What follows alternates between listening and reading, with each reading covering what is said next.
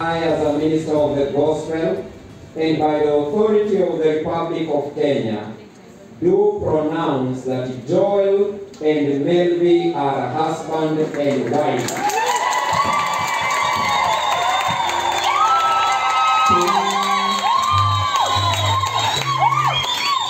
What God has joined together, let no man or woman put asunder.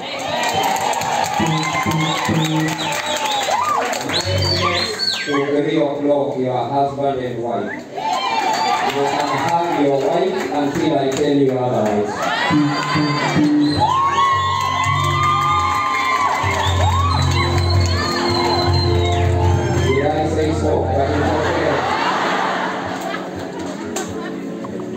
Brothers and sisters, this pastoral work is a.